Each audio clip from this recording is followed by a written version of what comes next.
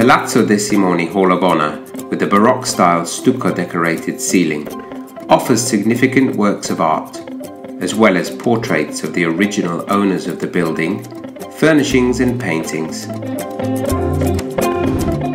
Luigi Castiglione's graphic works, rich in symbolism, successfully coexist with the antique collections.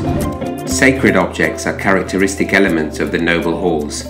Paintings, reliquaries, vestments, furniture, fabrics, and fine furnishings. The frescoed rooms present vaults decorated in a delicate Baroque style. Fake cornices and architectural elements sustain cascades of flowers, fruit, and plant motifs. One of the rooms also houses the portrait of Saint Rainerius, the work of Francesco Hayez.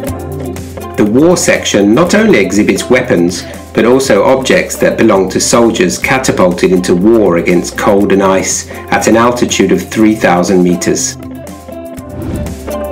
Among the preserved frescoes, the one depicting St. Cecilia is surprising, a fragment dating back to the 12th century rich in references to the figurative culture of Lombardy and beyond.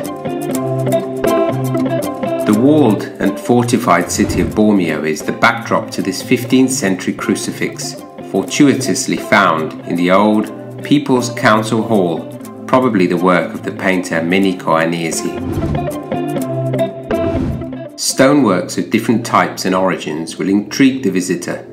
Among these remains the prehistoric millstones and a copy of the pre-Roman stele found in Bormio last century stand out. Statues and furnishings give us an insight of wood artists who skillfully exploited and shaped the material, making it vital. The so-called Madonna del Sottotetto is a fascinating example of a fully articulated statue which could be dressed. Music culture is represented in the form of antique instruments among which a Wapperturney forte piano and some wind instruments which belong to the Bormio Philharmonic. Gianluigi Giudici's sculptures highlight a taste for creativity and the pleasure of transforming matter into forms that often evolve towards the abstract. The ex voto expressions of popular religiosity are lively snapshots of the daily life of the past. They speak of difficulties, illnesses, accidents, and faith in the thaumaturgical crucifix kept in the church of Sant'Antonio Abate.